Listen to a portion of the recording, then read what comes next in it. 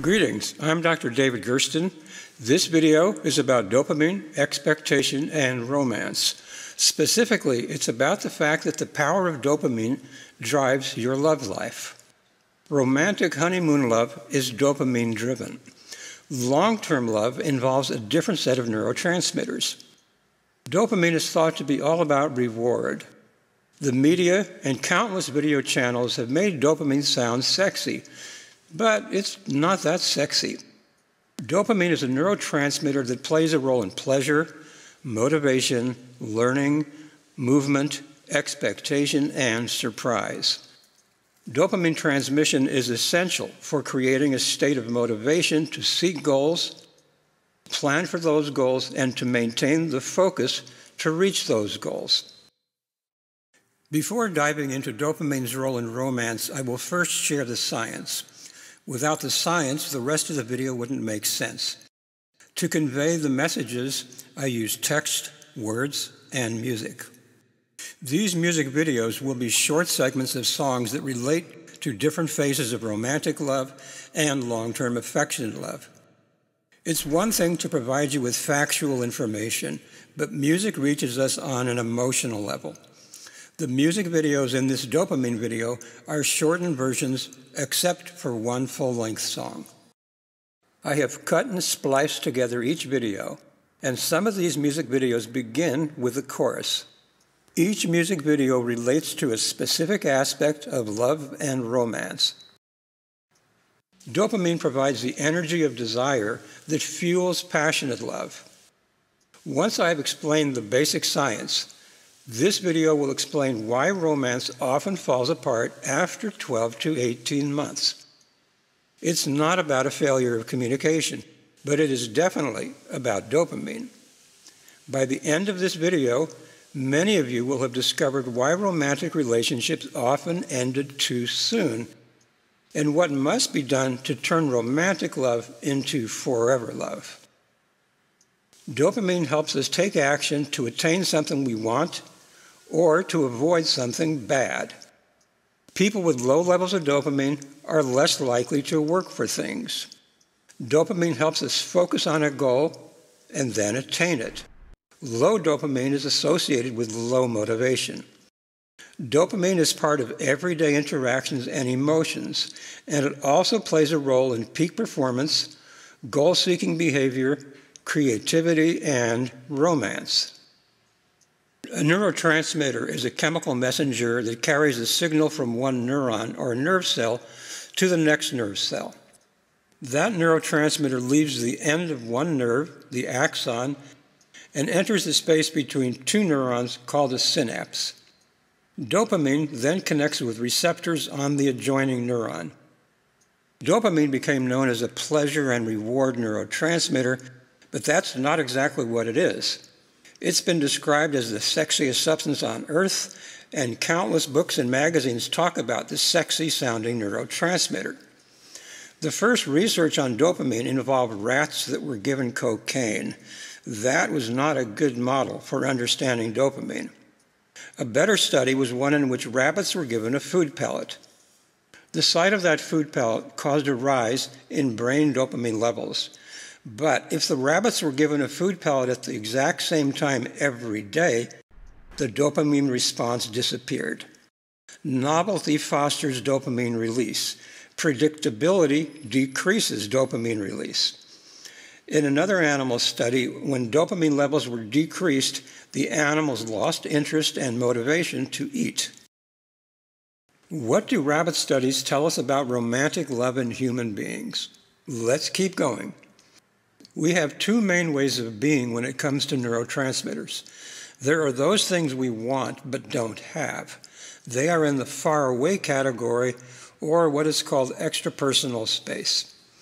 We cannot touch something that is far away. That goal or desire does not exist in the present. It exists in the future and at a distance and in what we imagine. Faraway experience involves what you cannot touch without moving. Before explaining more about faraway experience, let's watch our first music video, which is Fire in My Soul, a song that I wrote. It is a passionate, dopamine driven song. I have tried unsuccessfully to contact the man who sang this song. I will call him V in this video.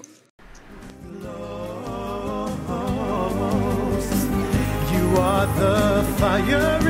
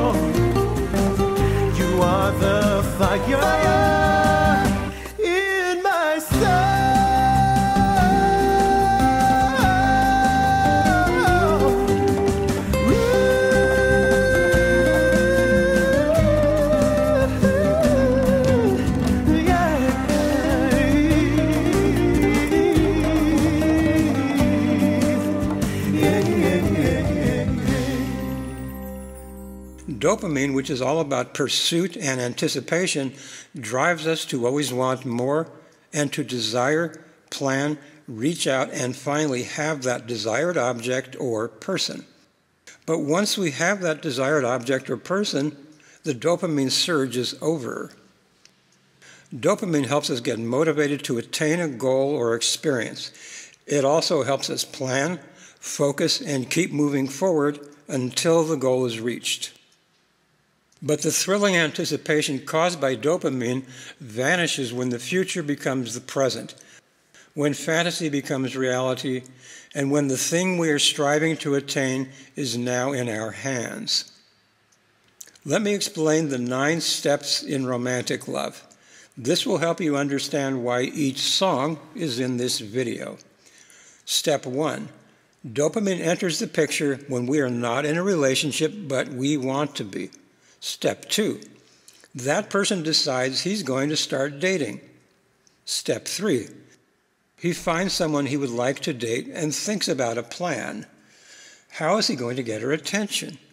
Hopefully, that plan will result in a date. Step four they have dated and both are happy with how things went.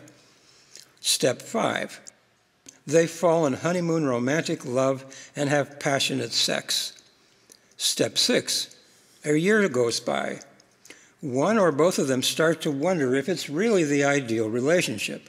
They're not sure anymore. This change is caused by a fall in dopamine levels 12 to 18 months into the relationship. Step seven, they are no longer feeling that being in love state, and they talk about ending the relationship. Step eight, they decide to vacation in Acapulco, Mexico to rekindle the romance. That will work for a while. Step nine, it's over. Each of these nine steps is dopamine driven. Every song in this video that I have labeled dopamine driven relates to one of these nine phases of romantic love. The end of dopamine driven love does not mean that your love affair is over. Things in the here and now are things we experience in the present. Here and now experience is literally about things we can reach out and touch, enjoy, and savor right now. Our five senses are engaged. We can hold and touch the thing or person. When we are in a here and now mindset, our brain activity mainly involves serotonin and oxytocin. Oxytocin, which is a hormone that acts like a neurotransmitter, has been called the love hormone and the cuddle hormone. It's made by our brain's hypothalamus and then released into the bloodstream by the pituitary gland. In the brain, oxytocin functions as a neurotransmitter. In the here and now, serotonin, endorphins, and oxytocin provide a sense of pleasure from emotion and physical sensations. Serotonin, another here and now neurotransmitter, creates a sense of safety, serenity, and satiety. The next music video clip is Goddess of Love, composed and recorded by Dove Linkhorn.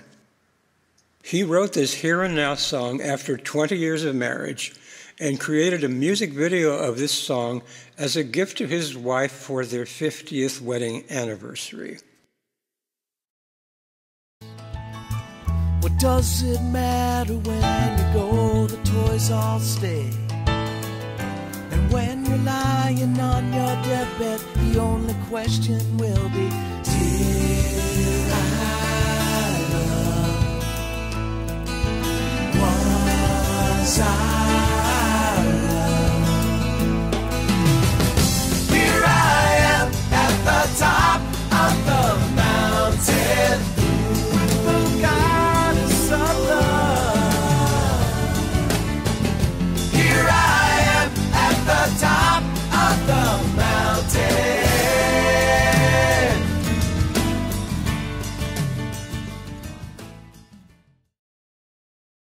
Dopamine is not about pleasure and reward, and it's not just about desire and pursuit. It is about anticipation of a goal or reward. There are two dopamine pathways. When the dopamine desire circuit is engaged, we are energized, optimistic, and enthusiastic. We are almost ready to begin the pursuit of a goal. But the dopamine desire circuit needs some help. The dopamine control circuit channels the energy of the dopamine desire circuit. The control circuit, which involves our brain's frontal lobes, plans, analyzes, and imagines in order to move the energy of the dopamine desire circuit in a more focused way toward the best outcome. Let's say that you are shy, but interested in dating a woman who you don't know very well. The dopamine desire circuit fires up so that you really want to date her. Dopamine energizes your intention, and the dopamine control circuit channels that energy and helps you develop the best strategy. Our long term dopamine level is called phasic. During phasic dopamine release, our dopaminergic neurons fire three to five times per second. When the dopamine desire circuit is activated, neurons that release dopamine fire 20 to 30 times per second. This fast dopamine release of an attained reward is called tonic. The key to understanding dopamine has to do with reward, prediction, error. In plain English, here's what that means. If we want something that is in the faraway space and which is out there in time, we have an expectation. At some time in the future, we may attain that goal. When we attain a goal, if that goal or experience is greater or better than we expected, we have a large release of dopamine. If the experience is exactly what we expected, there is no dopamine release. And if the result is less than we expected, there is a reduction in dopamine release. Here's a mundane example of reward prediction error in everyday life. A woman is going for a leisurely walk as she stumbles across a restaurant that she has never been in before. She walks in, orders, and enjoys her meal. She loves the environment. The food is great, the service is great, and that restaurant has exceeded her expectation. The positive surprise will cause a large release of dopamine. She begins going to the same restaurant every day. She raves about it with her friends. But after a month or two, she's used to the restaurant. The novelty is worn off. There is no anticipation, no surprise, nothing new, and there is no goal or reward to reach. Hence, there is no dopamine release. She is no longer in love with the restaurant, but she likes it. The dopamine response has ended. She is going to find a new restaurant. Dopamine is not simply about a reward for something good or desirable. It's a response to whether the goal or experience exceeds our expectation. Dopamine is released from brain cells not just when you have had a pleasant experience or reached a desired goal. Dopamine is released when that experience is better than we had expected and when the good result was a surprise. Similarly, you get a reduction in dopamine release when something is unexpectedly bad, unexpectedly worse than we had anticipated. Let's say that you have gone on your first date with a woman you have been pursuing in your imagination. Now it's real. If your first date exceeds your expectation, you will have a large burst of dopamine. If your date meets your expectation, there will be no dopamine release. If the date was worse than you expected, your dopamine will decrease, and it's likely that you won't want a second date.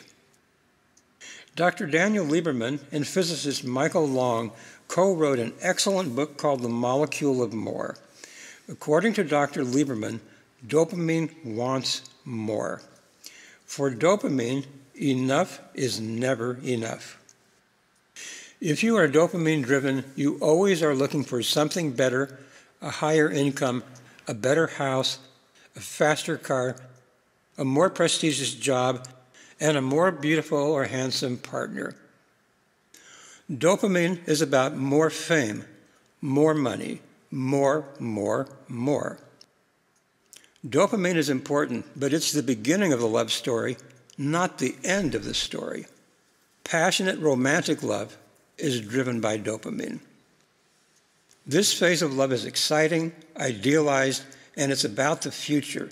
It's about the next great thing that will happen in this perfect, boundless romance. Dopamine is involved in the beginning and the ending of romance. Dopamine is the neurotransmitter that gets us motivated and keeps us motivated. It's the neurotransmitter that motivates people to fall in love. When people fall in love, everything seems perfect. Our partner is perfect, at least in our eyes and in our mind. The honeymoon phase involves lust driven biochemistry, and that is about dopamine. We are obsessed with our partner in this phase of love. In romantic love, high dopamine suppresses the here and now neurotransmitters. When our dopamine is activated by the thrill of romance, we see endless possibilities. But when the person or thing we have been striving for with eager anticipation is suddenly in our hands, we move into the here and now, and dopamine levels fall. Dopamine is a great assistance for things out in the future, things we are striving to attain. Dopamine helps us find a new job and new romance.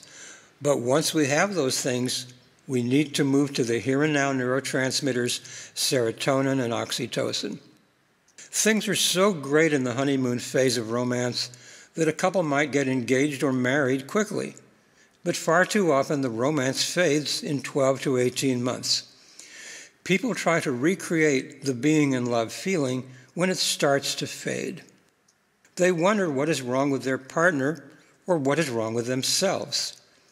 They might get in couples therapy. But the problem is not about either partner. It's about the fact that after 12 to 18 months of romance, the dopamine high goes away. When romantic love starts to fade, dopamine drives us to leave the quote failed relationship unquote and get back to more dopamine.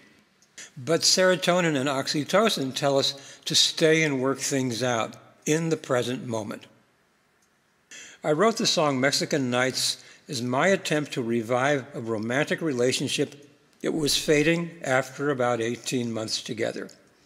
The singer, Michael T. Lawson, has been in country bands for decades.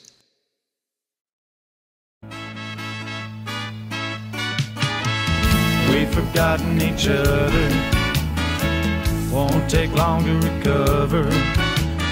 Fruit of the vine, we'll lose track of the time. Let's get high on a Mexican night.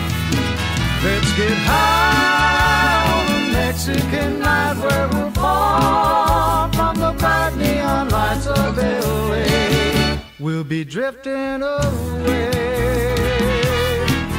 I'll be holding you tight. Till we're feeling alright. Let's get high on a Mexican night.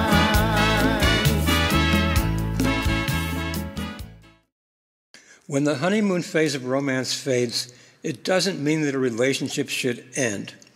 It does mean that people have to shift from romantic dopamine driven love to present time companionate love. Companionate love, also known as affectionate love, includes commitment, trust, affection, and a sense of safety. The term companionate sounds too scientific and remote for me. I like the term affectionate love. It is slow to develop, but can last a lifetime. Affectionate love lives in the here and now. Affectionate love does not involve dopamine. Faraway experience involves people and things we strive to attain, which is dopamine driven. This change from faraway experience to here and now involves our day to day mundane realities. Oxytocin and serotonin are the two most important neurotransmitters in here and now love. When we are in a here and now experience, we learn to deeply understand each other to form a lasting bond. We learn to be open and vulnerable, to listen, to be patient, and to live and love in the moment. The affectionate love neurotransmitters flood the body as we move into the here and now of love. That state creates a sense of well being, safety, and connection that is necessary for a lasting relationship.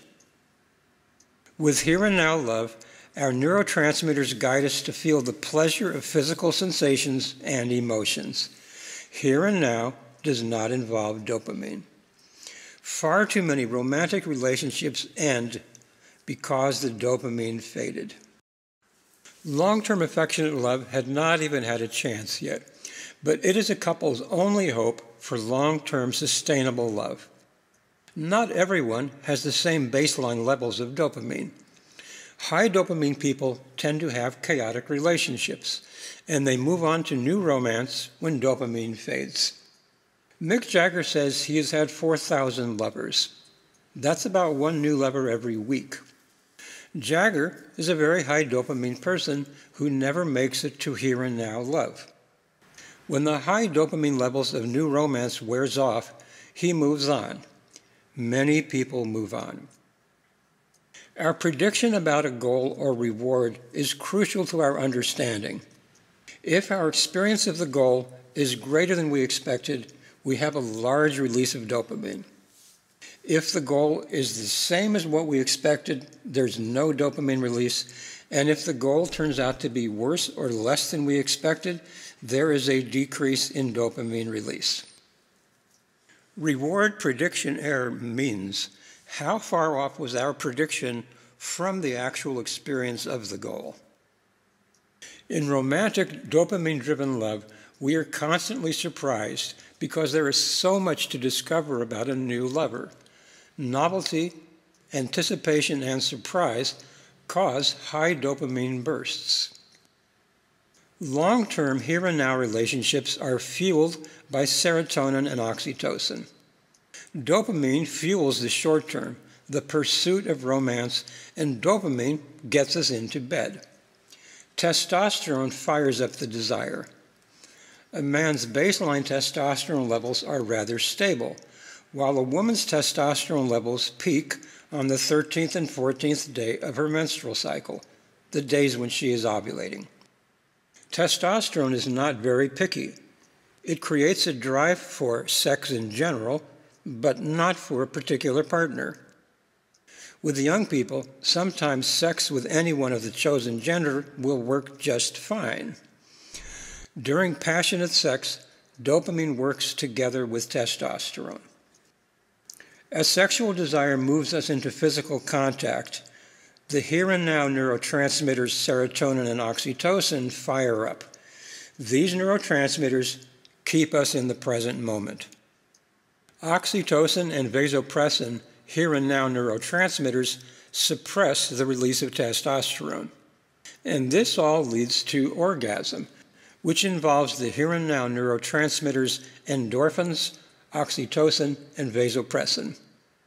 With orgasm, dopamine release is shut off so that we can enjoy the sensations and emotions in the moment with that person.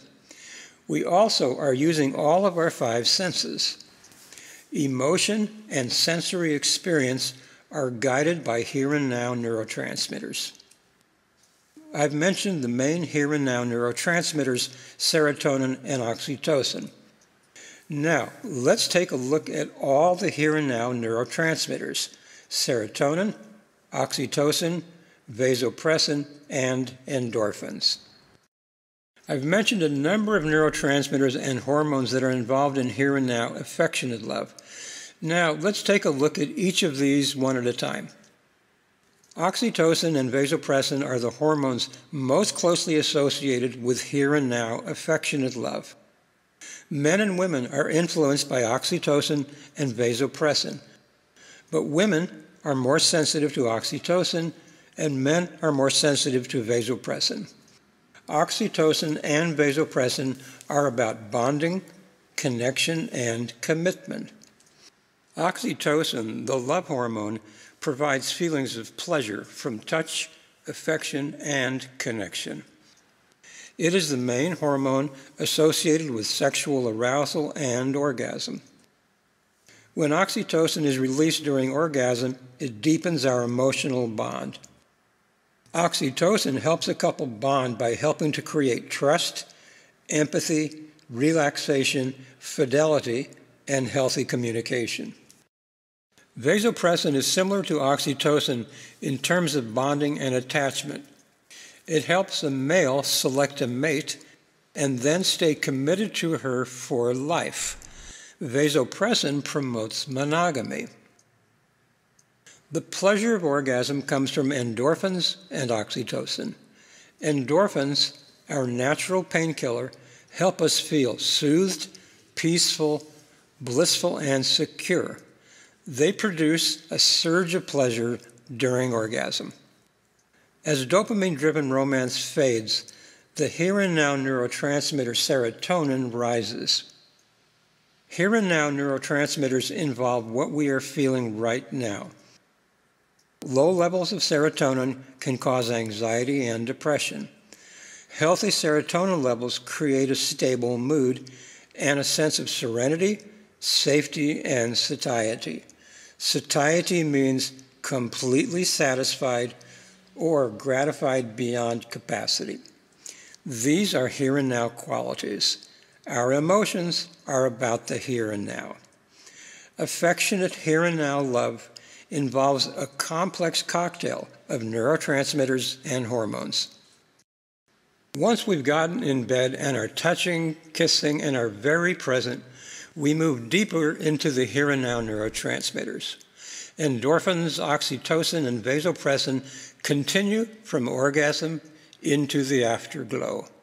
After orgasm, there is a surge of serotonin, a here and now neurotransmitter, which creates that sense of serenity, safety, and satiety.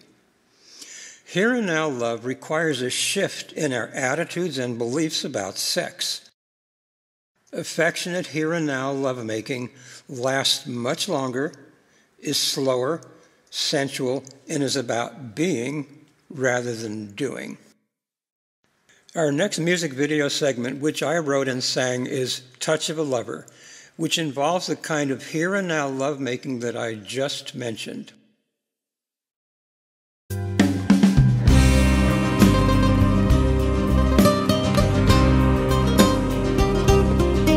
When you feel the touch of your lover, is it soft as a feather brushing across your skin? Do you feel your soul discovered? Are you most alive when you're lying next to him? The touch of a lover, his gentle caress, so slow and unhurried, for he wants no less than to enter your heart so you'll never want When you feel the real touch of a lover.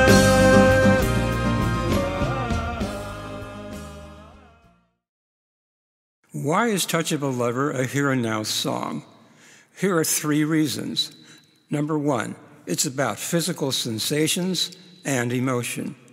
Number two, it's about being very present in the moment.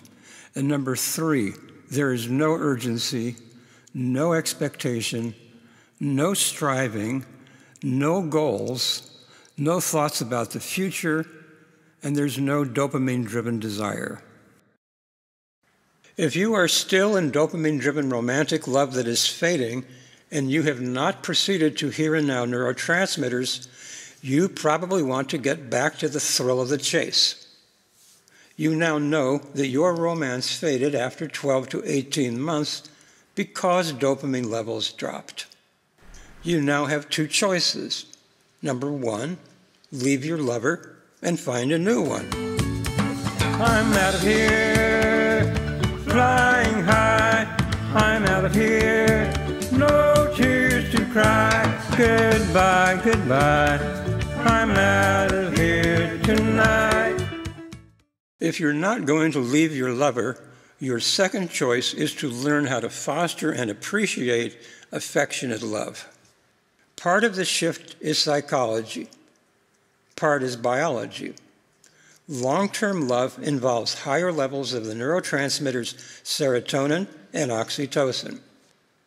Oxytocin rises during sex, orgasm, and the afterglow. And oxytocin helps people connect and bond with each other. In dopamine driven romantic love, there is no increase in oxytocin.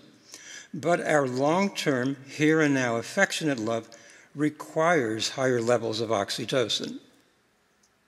Dopamine is not the molecule of pleasure.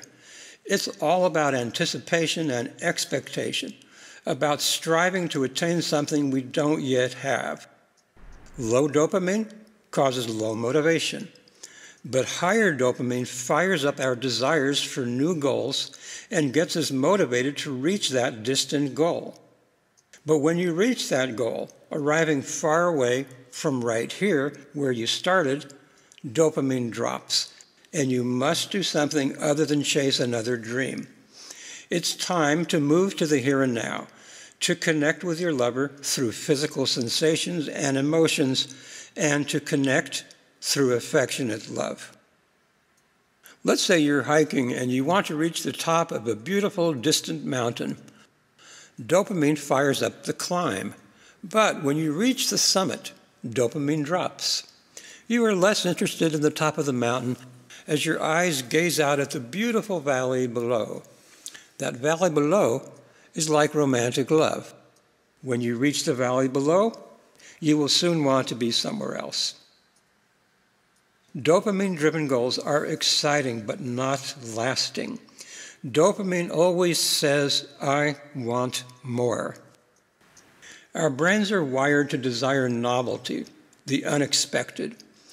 Dopamine causes us to look to the future where all of our hopes, aspirations, fantasies, and potential dreams exist. But when the excitement starts to fade, we will chase something or someone new.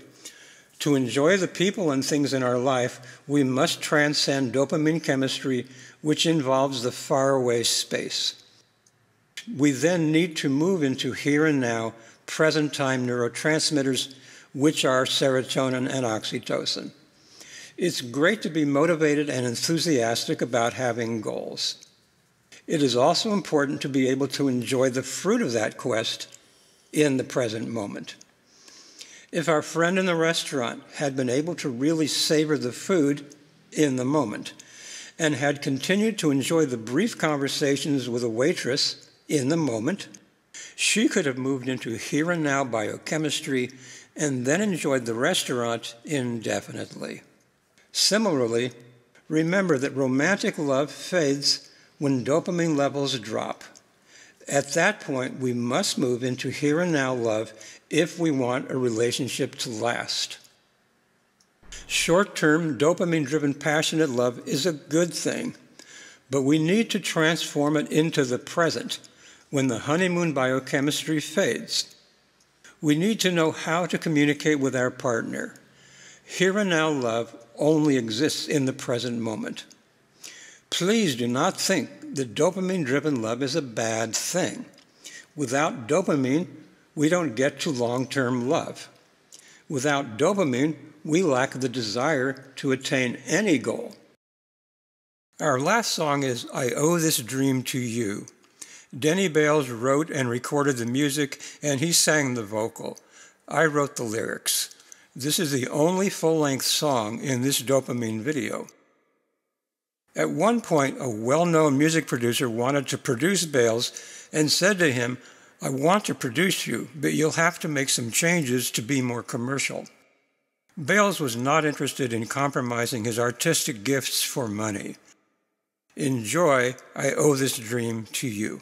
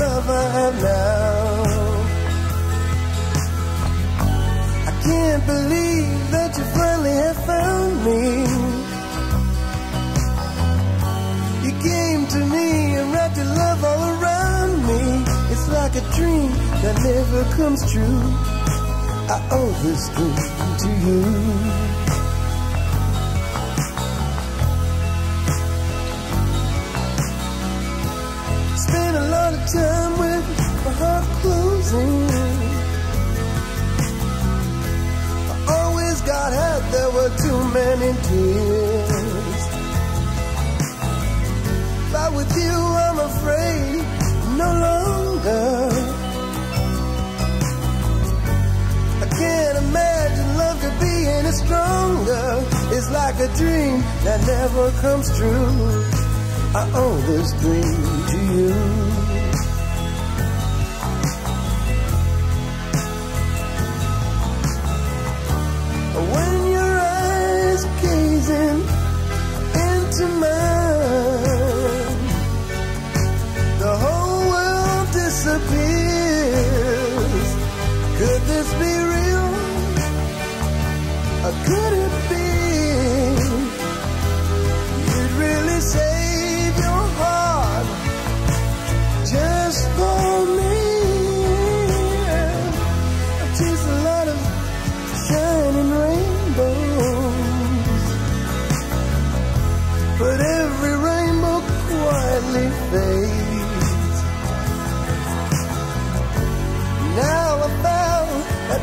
So golden. Yes, every night it's really you that I'm holding. It's like a dream that never comes true. I owe this dream to you.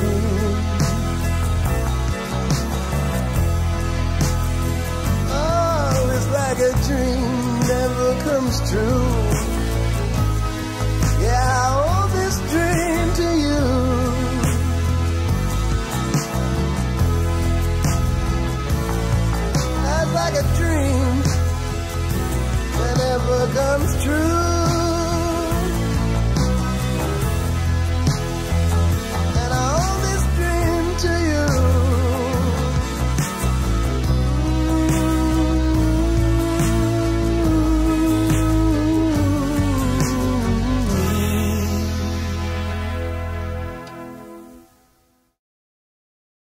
Thank you for watching.